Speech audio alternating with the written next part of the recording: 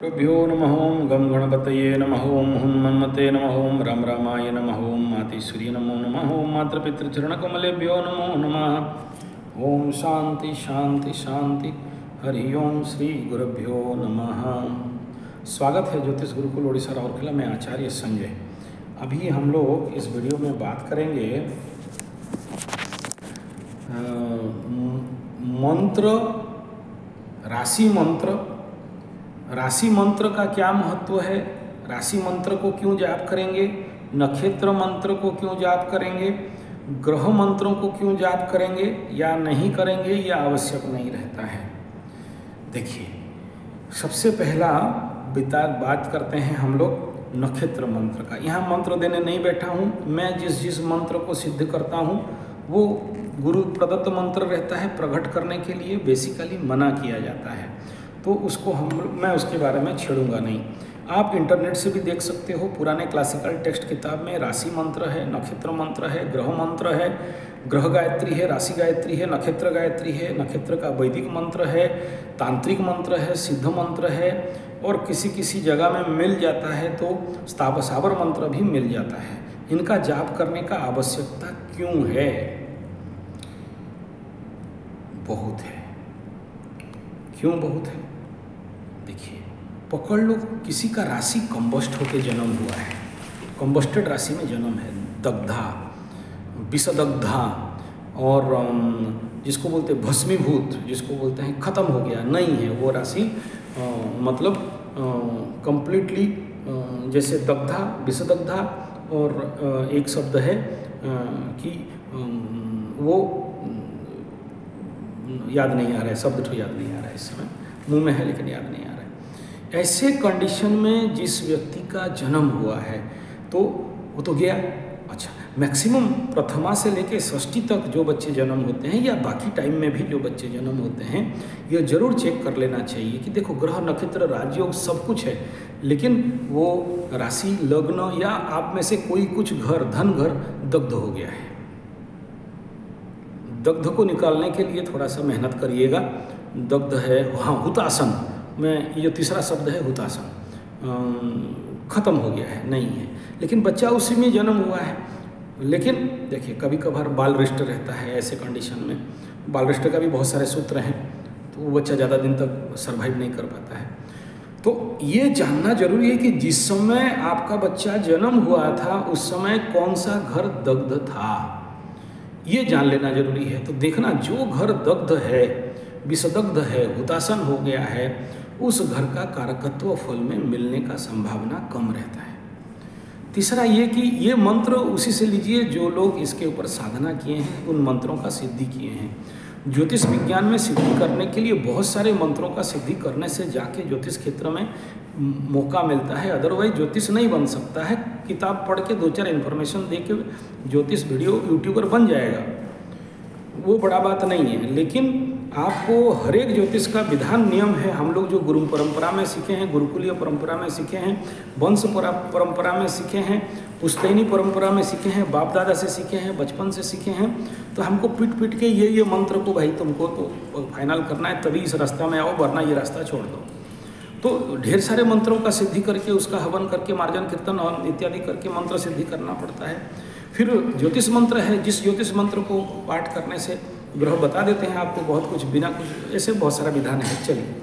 तो इसीलिए मैं जनरली बच्चों को बोलता हूँ कि देखो भाई ऑनलाइन तो मेरे को बहुत सारे ऑफर्स आते हैं कि पढ़ा दीजिए, सिखा दीजिए, करा दीजिए, करा भी देते लेकिन अपात्र न देते ज्ञानम, धनम ज्ञान तो नहीं देना चाहिए तो नहीं देता हूँ इस कंडीशन पे। बोलता हूँ, यहाँ पर आओ तो मैं देखूँगा, ठोकूँगा, पीटूँगा, यार पचास रुपया का मिट्टी का घड़ा खरीदते हैं हम लोग पचास बार स्टडी करते हैं, देखते हैं, फिर जाके उसमें पानी रखते हैं तो किसी बच्चा को ऐसे ओकल्ट विद्या, ओकल्ट ज्ञान देंगे और बिना स्टडी किए, बिना ठोके पीटे दे दिया जाए तो अपने लिए हानि है अल्प विद्या भयंकरी और गुरु के लिए भी भयंकरी। सोच समझ के देना चाहिए।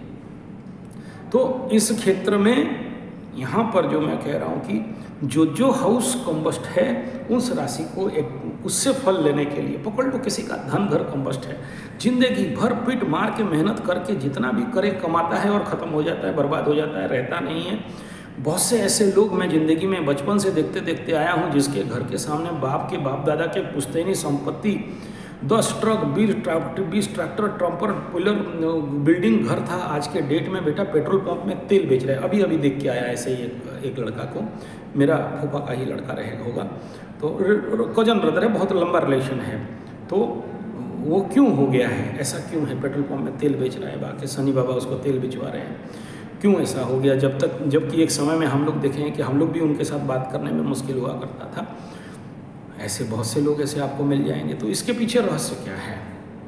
ये जो मैं बना रहा हूँ वीडियो सीरीज़ 108 मनुष्य जगत समस्या मनुष्यों का समस्या और समाधान बहुत जल्दी पब्लिश भी करने वाला हूँ बना बना के रख रहा हूँ। उसी सीरीज़ में ये एक वीडियो भी है। तो देखिए कि दग्धा, अति विषदग्धा और हुतासन वाला जो हाउस है, उस हाउस को एक्टिवेट करने के लिए। और अगर देखें कि आप राशि को एक्टिवेट नहीं कर पा रहे हैं हुतासन हो गया है कंप्लीट कंबस्ट खत्म हो गया है, नहीं हो पा रहा है, ऐसे लोगों को फिर क्या करना चाहिए? नक्षत्र को एक्टिवेट कराओ। आप बोलोगे कि नक्षत्र एक्टिवेट मंत्र करने से क्या होगा? नक्षत्र का कौन सा मंत्र करेंगे? बीजाक्षरी मंत्र, एकाक्षरी मंत्र करेंगे, या उसका वैदिक मंत्र करेंगे, या उसका तांत्रिक मंत्र करेंगे? तो ये निर्भर करता है कुंडली के अनुसार कि कौन सा मंत्र इस बच्चा को दिया जाए। तो फिर इसके जीवन में जो इस प्रकार के भयंकर नेगेटिव कंडीशन बना हुआ है, आर्थिक स्थिति, दुस्थिति, दरिद्र, दोष, बेकारी, बेरोजगारी, पैसा का कमी, धन का कमी, ऋण में डूब गया बिज़नेस को डमाडोल करके सब कुछ ठेक मार के फिका दिया और ऐसा दशा, अंतरदशा शुरू हुआ। जो नक्षत्र का लॉर्ड का हुआ या राशि का लॉर्ड का हुआ ऐसे इसको क्यों बना रहा हूँ? इसके पीछे भी थोड़ा सा रहस्य को मैं आपको बता देना चाहता हूँ।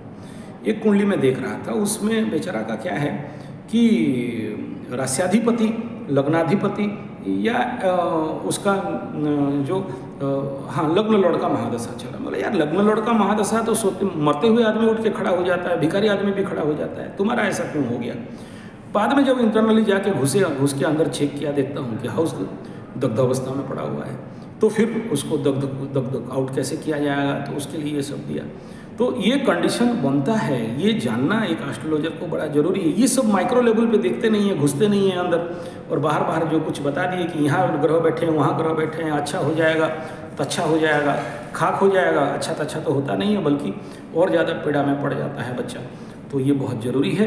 राशि मंत्रों को समझें, नक्षत्र मंत्रों को समझें और लग्न मंत्रों को समझें, उस हाउस के लॉर्ड को समझें, इन इन मंत्रों को समझें और दग्ध वगैरह है तो उसका मंत्र करके उसको हम लोग फ़ायदा में ले सकते हैं।